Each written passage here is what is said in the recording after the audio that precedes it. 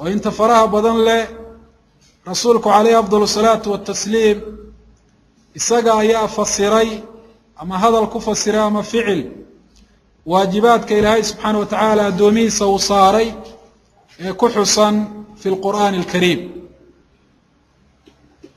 Xadiidka rasuulka calayhi salaatu wasalaam waxaa ku jira alwacd oo aynu uga jeedno hadal quluubta jilciya hadalkaasi oo koobsanaya tarkiib iyo tarhiib. Dadka in wanaagga la jeclaysiiyo waxa ay ka helayaan loo sheego. Iyo xumaanta dadka in laga didiyo. Oo loo sheego dhibaatada ka dhalanaysa adduunyada inta ay joogaan. Iyo ilaahay subxaana wa tacaala marka la horgeeyo yowma alqiyaama walihaada waxaa la gudboon qof kastoo doona dadka inuu u sheego cilmi iyo khayr dadka inuu waaniyo oo uu islaaxiyo quluubtooda iyo jawaarixdooda xubnahoodaba inuu had yo jeeraale ku dul akhriyuu maqashiiyo kalaama rabbihim subxaanahu wa tacaala wa kalaama nabiyihim calayhi afdal asalaatu watasliim hadalka ilaahay subxaanahu wa tacaala iyo hadalka rasuulka. Fa fiihima alkhayr wa fiihima alkifaaya. Iyaga ayaa khayrku ku jiraa iyaga ayaana dadka ugu filan dhinac kastoo laga eego iyo dhinac kastoo laga istaagaba. Xadiidka caawa insha allahu tacala aynu ismaqashiin doono aynu isku waanin doonaa waa xadiidun cadiim. Ishtamala calaa abwaabin min alkhayr. Waa xadiid aada iyo aada u weyn oo koobsaday albaabo badan oo ka mida albaabada khayrka waqad rawaahu alimaamu axmed fii musnadih wa akhrajahu tirmidiyu fii sunanih min طariiqi moxamed ibni ismaaciil albukhaari waxaa tirmidi xadiidkan uu ka warinayaa alimaam albukhaariya raximah اllahu tacaala qala akhbarana musa ibnu ismaaciil abu salma atabudaki alminqari min mashaayikh اlimam اlbukhaari qala akhbarana aban ibnu yaziid قال أخبرنا يحيى بن أبي كثير عن زيد بن سلام أن أبا سلام زيد بن سلام أووغيوي حدثه أن الحارث الأشعري حدثه أن النبي عليه الصلاة والسلام قال إن الله أمر يحيى بن زكريا بخمس كلمات أن يعمل بهن ويأمر بني إسرائيل أن يعملوا بها. وحلي رسولك عليه أفضل الصلاة والتسليم. Ilaahay waxa uu faray yaxya ibnu zakariya oo ahaa nebi ka mida ambiyadii reer banu israa'iil ilaahay u diray shan kelmadood. Shantaa kelmadood horta inuu isagu ku camal falo. Inta aanu cidna u sheegin. Mar labaadkana inuu faro reer banu israa'iil oo qoomkii loo diraya inay ku camal falaan.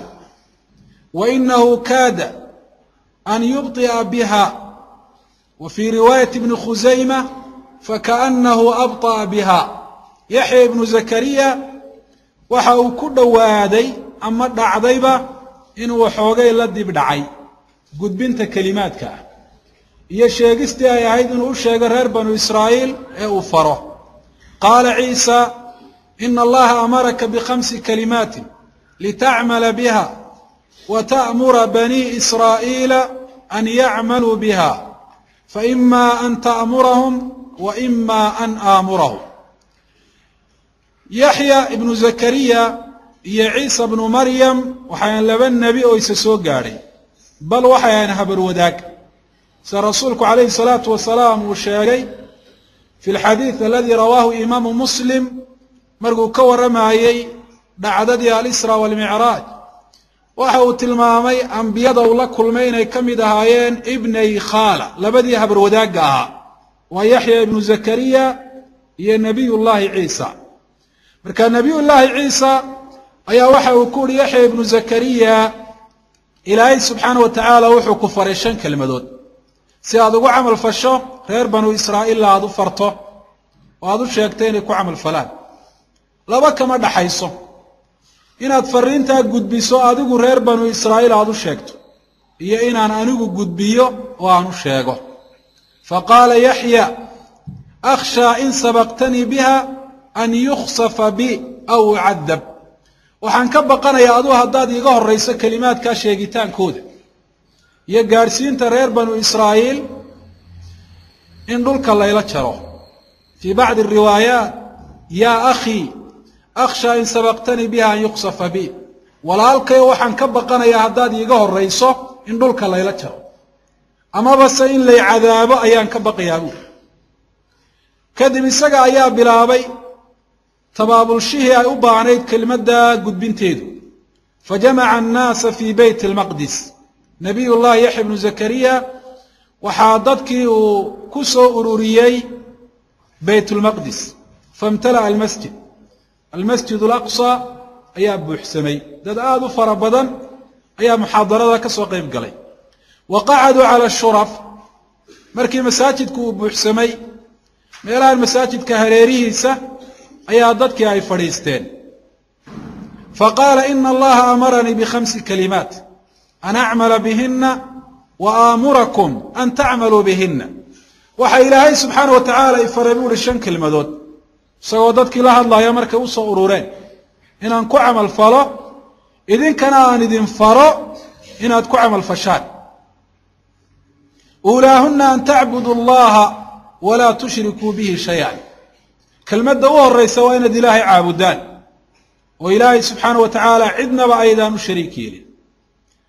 Wa ina mahala man ashraka biاllah kamahali rajuli ishtaraa cabda min khaalisi maalihi bidahabin aw wariq. Qofka shirkiga sameeyaa waxa uu ka dhigan yahay sidii addoon uu nin soo iibsaday addoonkaasi oo uu ku soo iibsaday xoolihiisa isaga u gaarkaa dahab buu addoonkaa soo siistay. Macnaa addoonku qaali weeye ama wariq fida ayuu ku soo iibsaday. Fa qaala wuxuu idhi ninkaasi addoonka soo iibsaday isagoo addoonkii la hadlaaya haadihi daari wa haada camalii addoonkaygii baa to aniga ayaa ku soo iibsaday. Kani waa gurigaygii. Camalkii iyo shaqadii aan kuu iibsadayna waa taa يعني قلت لك لي إن القبطة أضحك صارت فاعمل وأدي إلي فكان يعمل ويؤدي إلى غير سيدي شقيب يلي ووحد صو صارت أنا جاي كان اللي أنا جا كله وأدون هذه تاعي أدون كويح بلاوين الشقيه أمر كاية تلاد على الشقيين تكون صابسا وأوقات لكن عبته وسمي ومحي وحي وصو صار هل كوجين لا سيد كيس عدة سجى إسكاله ee soo iibsatay ayuu cid kale u geeyey